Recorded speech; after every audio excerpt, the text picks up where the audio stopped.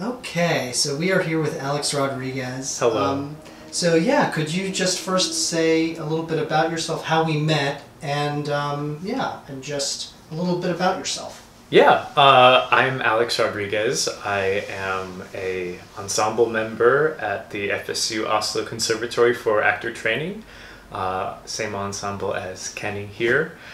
Um, I remember really distinctly the first time you and I met. We were our first day in class, I think for movement class, and we were paired up. And um, there's like was a moment of staring into each other's eyes and like seeing like the universe and soul that resided in each of us. And um, from that moment, like you know, there's a familial connection that you have with all of your ensemble members. But um, that's that's kind of what I remember the first meeting of you and it's been a journey ever since three years of you know growing together and learning and turning and all of that Since we're talking on, about that, what like what what have been some of your um, for all of the people watching, um, you know, no one has really talked too much about what the experience is like of grad school. Hmm. Um, for you, like what what has your experience been, and what do you think grad school is trying to deliver?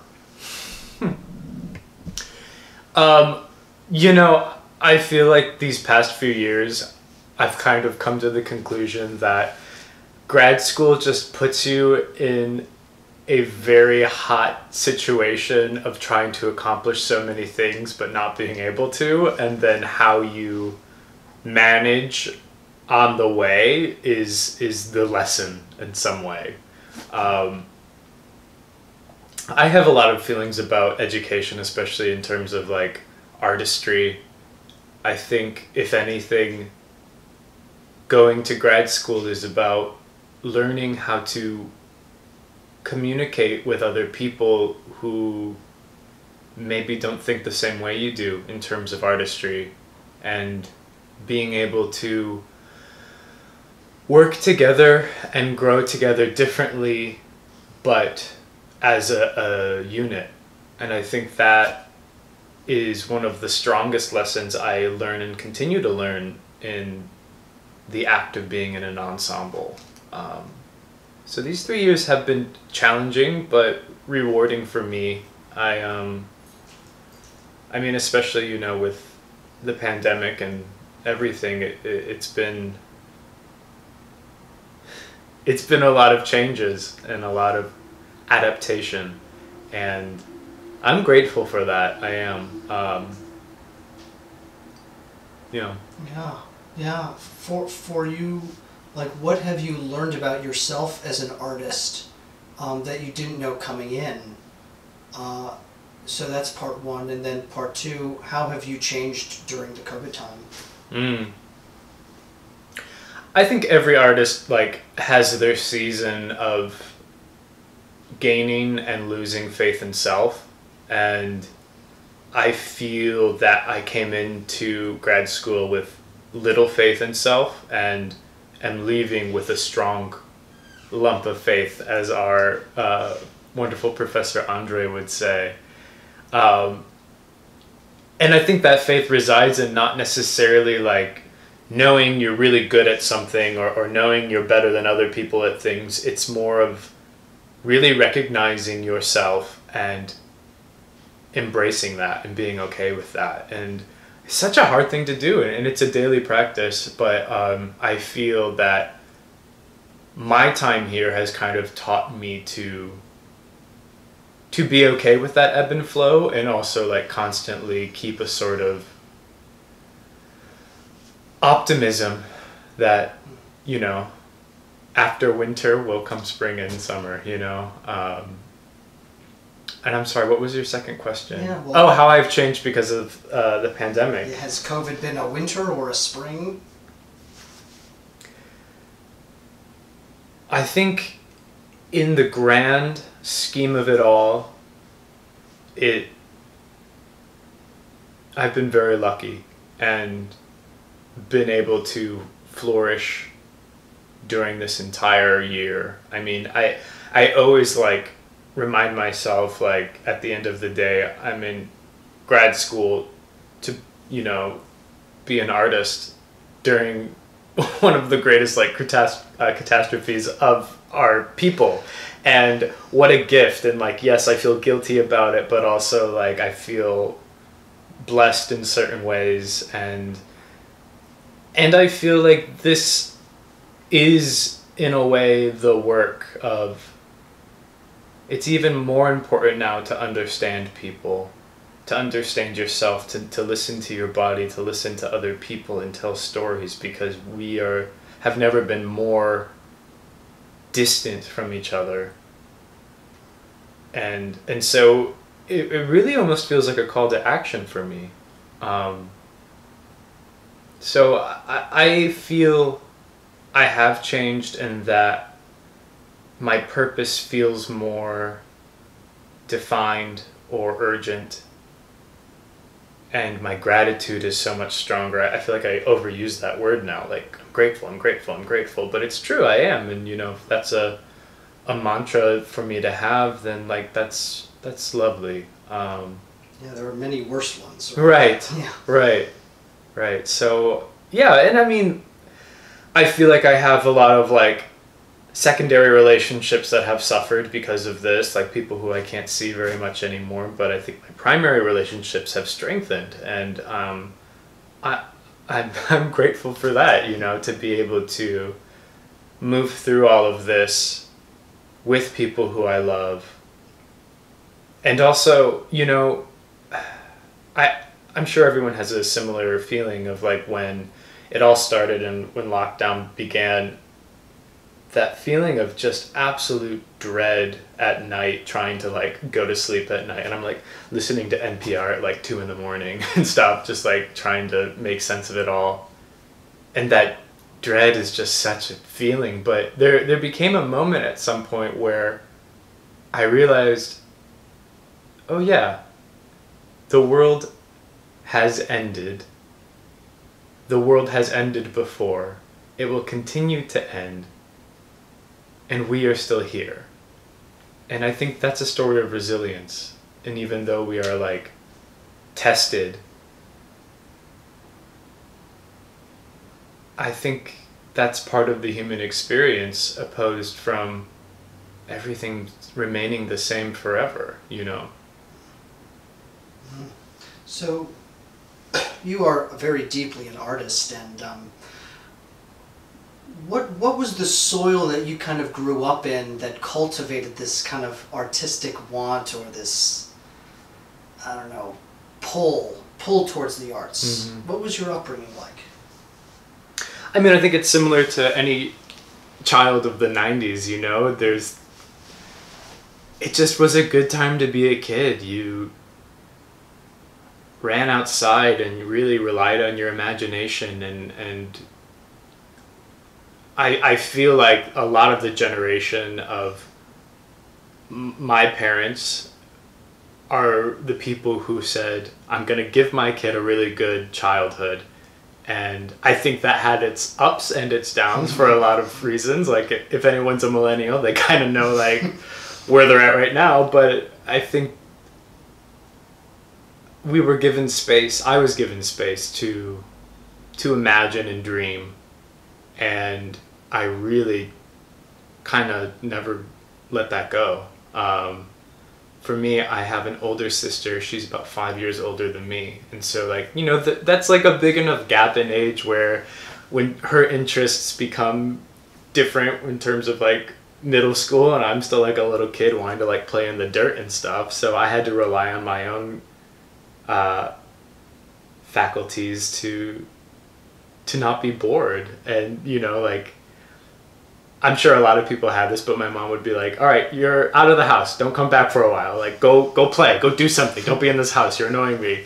And so like i would just be running around outside and like finding good sticks and like chasing squirrels and like playing these huge world games in my head. And i think that's something that i still long for and, and am trying to reach every time I make something.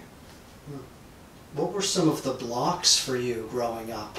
Um, what were some some challenges? Yeah, well, I think I so I grew up in rural Midwest, um, a small town in Illinois, and so I think like there is a a culture that that you kind of have to fall in line with in terms of like being um, a guy and you know when you grow up in certain social dynamics it's like you are ought to behave certain ways. And for me i was always accused of being a very sensitive person which i am. And you know like of course when i was really little i would be the one who would like one thing went wrong and i would start crying. And people would be like stop being sensitive. Why are you crying? It's not a big deal. Which yes it's it's true but also i think it was a struggle to kind of find that line of how much of showing my emotions or feelings is allowed. And um, I think everyone struggles with that, but I think actors, artists, it, it's especially hard to, to really understand like how to move through life when you feel so deeply about a lot of things you know? For me i it's hard if i'm in a room i really pick up other people's emotions or energies. So like if if someone's having a really bad day and they're in my proximity i will i will kind of soak it up in a not always healthy way where i'm like now i'm having a bad day or now i'm feeling distraught and it's like learning the tools to not let that harm me, but also reminding myself that that's a, a gift and not something to like work or get rid of. Um, yeah, uh, I'm just just listening to you, uh, and so you know something that that we talk about, I talk about a lot on this channel is strength as vulnerability. Mm-hmm in in your opinion, like that philosophy, like what what are your thoughts of that? Strength is vulnerability. Um, yeah. I think that is so true. I, th- I think someone to own their experience fully in their body in their in their like logical understanding and in a spiritual way is for me the like that's the sweet spot. That is that is the goal. To be completely not in control of but in experience of yourself. Um, and that is vulnerability it, it is allowing your full you to be permeated and and experience the world around you.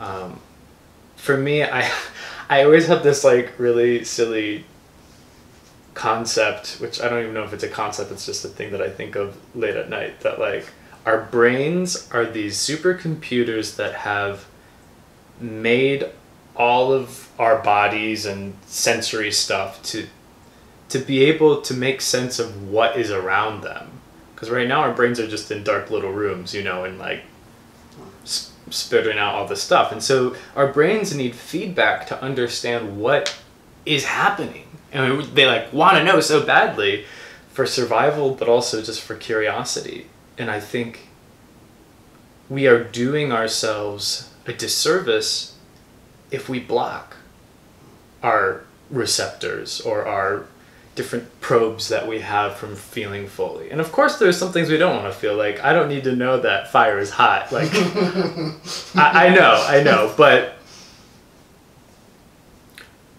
but it is a vulnerability and it's a trust. And I think it's not something that can be 100% on all the time. But it's something to um, work for. At least it's something I work for. And, you know, part of why I, I want to be an artist, a, a theater maker and storyteller is because I think if I can do that and have people see me do that, in some way it will help them. Yeah. Um, what is some advice that you would give your former self? which which version of myself? well, well, yeah. Which versions come to mind? You can give. Um, yeah, you give That's a great question. I would say trust yourself, love yourself, take more risks. I think those are the big ones. Are there any parts of your story that you would like to share that we haven't talked about? There's so many. I mean, so many years of experience and thoughts and lessons. Do you have one or two that come to mind from childhood or from adulthood that you'd like to share and maybe give some advice about how you processed it? Hmm. The first thing that comes to mind is um, our uh, Shakespeare teacher Johnny talks about how, like, what what the role of a director is or a teacher is, and and he said that some people need feel as if they need permission to to fly, as he would say. And a director's job is to give them permission if that's something someone needs. You know, he says in an ideal world, he, there wouldn't have to be a director giving people permission. Um, and I feel like that's something that has always kind of been settling within me of like, how do I give myself permission to do things that I'm afraid to do? Um, I remember looking for programs I wanted to go to for undergrad and like having a conversation with my mom. So I was going to be a graphic designer. Um, and like I was hoping to get some sort of like theater minor or something somewhere. And every program I went to, they were like, yeah, you can't really do that. Like that's too much work and you know, it's just not gonna not gonna work. And I just remember like talking to my mom being like, I I just I don't know like I can't I can't imagine like not being able to do theater and stuff. And then she just like looked at me and she's like then why don't you major in that? And in my head I was like oh I could do that you know? Mm. And I think in the back of my head I needed my mom to say that to me for me to be able to do it. I needed like a blessing or I needed permission to follow my dream. And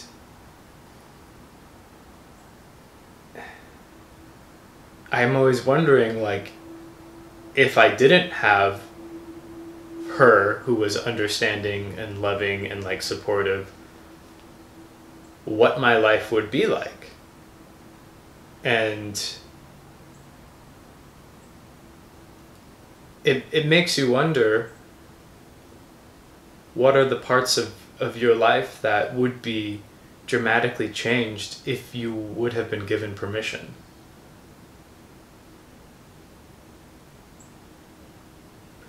And so, like, for me, I'm constantly working on how, how, how do I give myself permission to move forward? And also, you know, being aware of other people as well. You don't want to be an asshole who's just like i'm doing this i'm taking this you know but like what is that line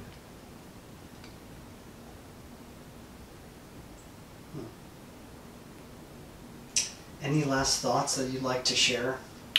uh oh my gosh.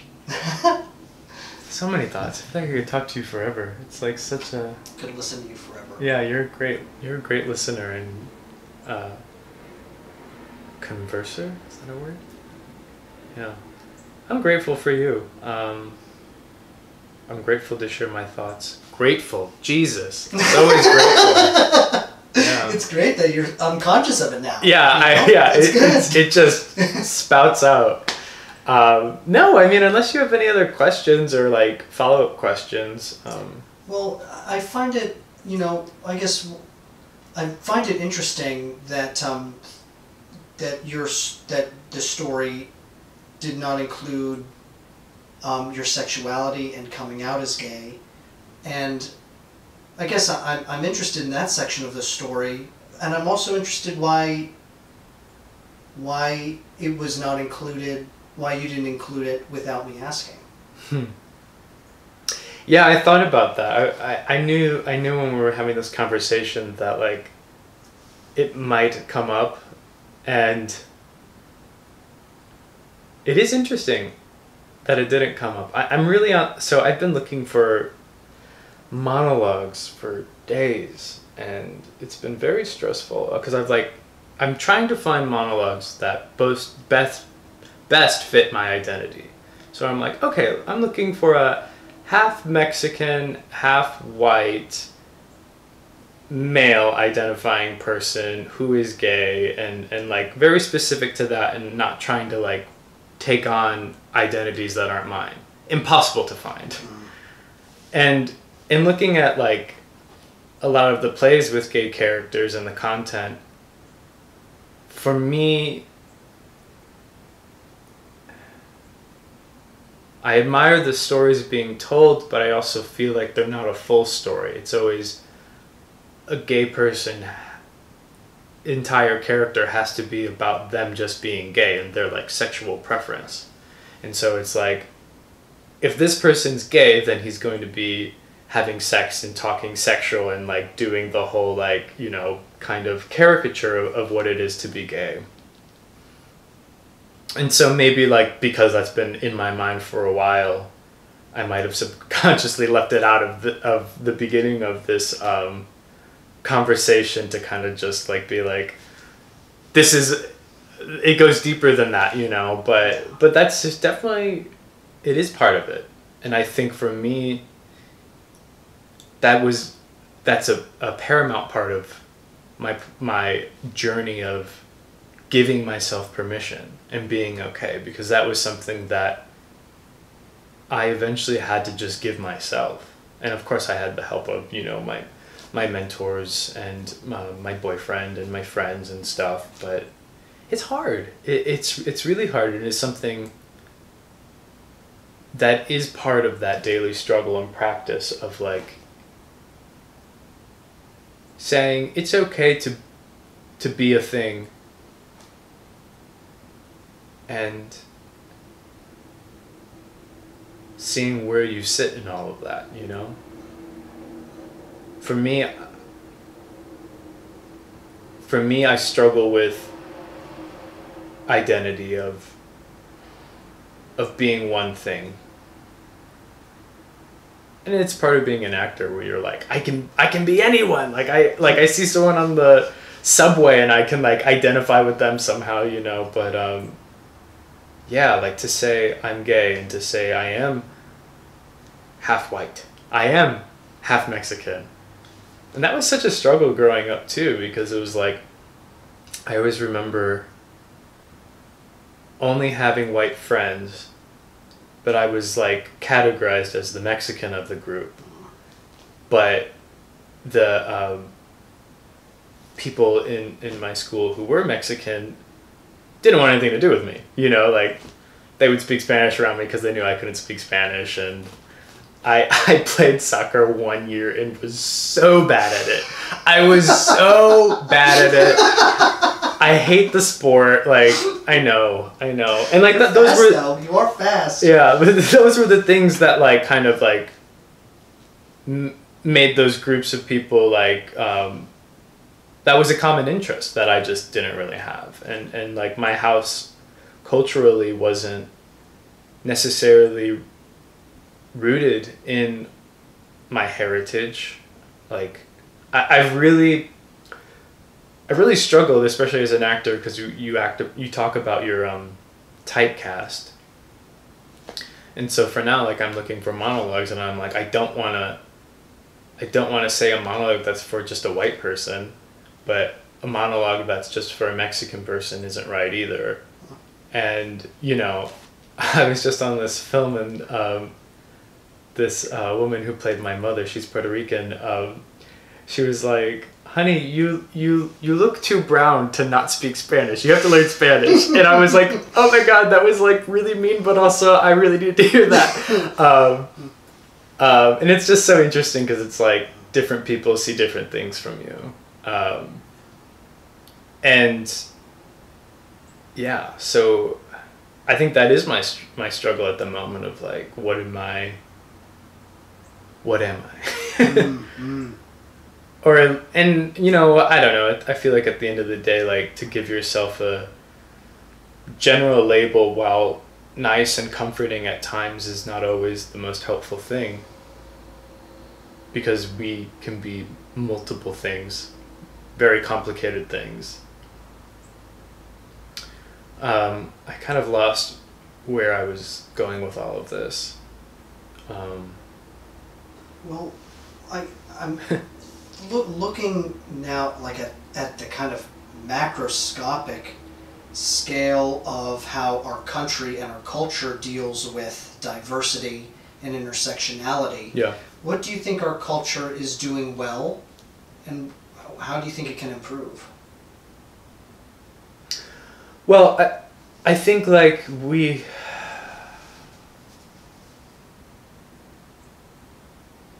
It sucks right now. It really does. But it's better than it has been in a lot of ways, and it needs to improve in a lot of ways. I think, if anything, uh,